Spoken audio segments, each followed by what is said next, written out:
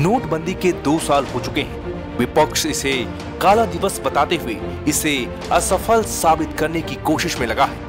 लेकिन असल मायने में नोटबंदी के कई फ़ायदे हुए हैं और मोदी सरकार के न्यू इंडिया के सपने को साकार करने में मददगार साबित होगा।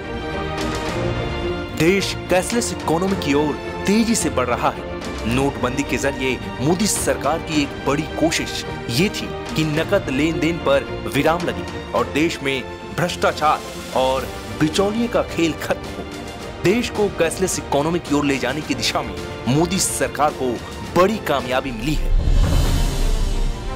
नोटबंदी के दो साल बाद देश में होने वाले डिजिटल लेन देन में काफ़ी बढ़ोतरी हुई है। इस साल अगस्त में देश में दो सौ करोड़ डिजिटल लेन देन हुए। यह आंकड़ा अक्टूबर 2016 से अब तक हुए डिजिटल लेन देन में तीन गुना से अधिक की बढ़ोतरी को दिखाता है। भीम, यूपीआई, आधार आधारित भुगतान प्रणाली और राष्ट्रीय इलेक्ट्रॉनिक टोल संग्रह यानी एनईटीसी डिजिटल भुगतान के तंत्र को पूरी तरह बदल दिया है।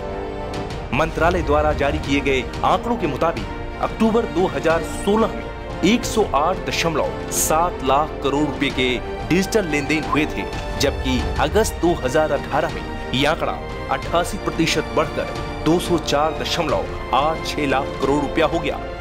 मंत्रालय द्वारा जारी बयान के मुताबिक, अक्टूबर 2016 में भीम और यूपीआई आधारित लेन देन की संख्या मात्र एक लाख तीन हज़ार थी।